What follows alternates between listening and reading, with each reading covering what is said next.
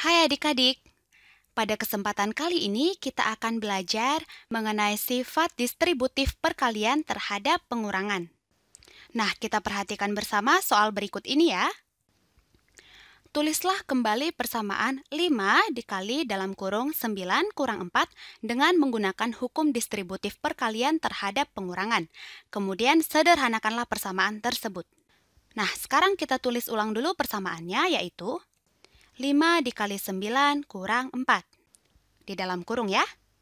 Dengan sifat distributif perkalian, kita dapat mendistribusikan bilangan 5 terhadap bilangan-bilangan yang di dalam kurung.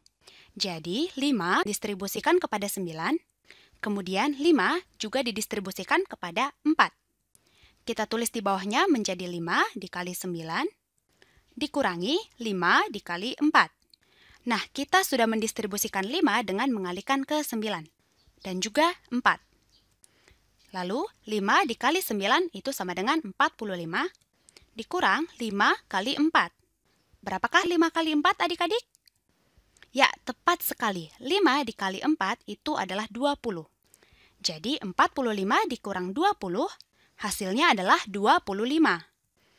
Jika kita tidak menggunakan sifat distributif perkalian, kita bisa saja mengerjakan persamaan dalam kurung terlebih dahulu.